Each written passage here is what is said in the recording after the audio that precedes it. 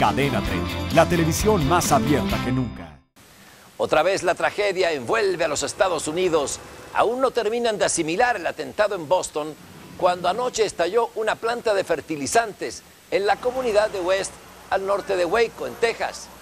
En cuestión de segundos, todo quedó envuelto en llamas. Las autoridades reportan al menos 35 muertos y más de 160 heridos. La onda expansiva fue devastadora. 75 casas fueron impactadas por la explosión. Un asilo de ancianos y una escuela se desplomaron. La mitad del pueblo, que es de 2.700 habitantes, ya fue evacuado. El estallido fue tan fuerte que se escuchó a 75 kilómetros del lugar.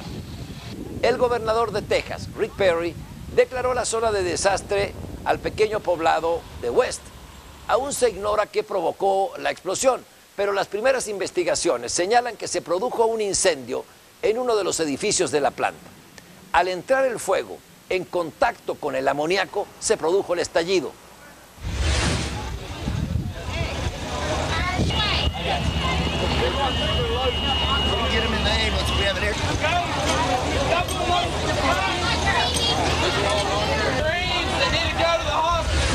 Vea usted estas imágenes. Son del momento exacto en que se produce la explosión en la planta de fertilizantes en Waco.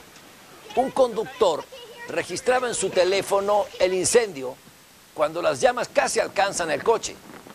A pesar de la onda expansiva, no resultó lesionado, pero vea, vea lo que se arriesgó al estar tomando con su teléfono celular. Y ahí viene la onda expansiva. No le pasó nada.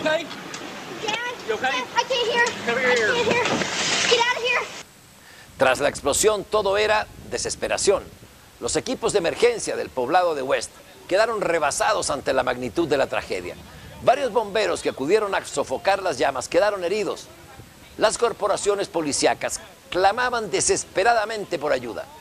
Aún no entendía qué había pasado.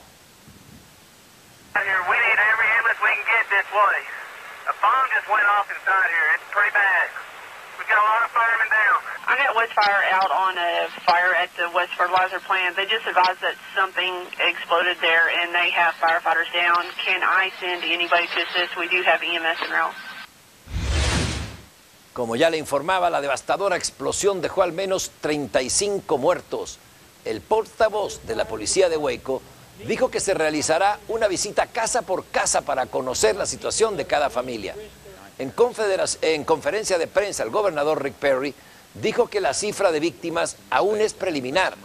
Detalló que se enviaron fuerzas especiales a las zonas siniestradas para preservar la ciudad y la seguridad de la gente.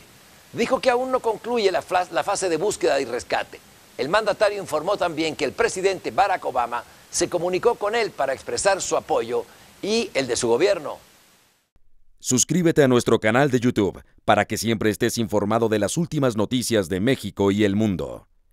Empieza ahora mismo dándole clic a estos videos.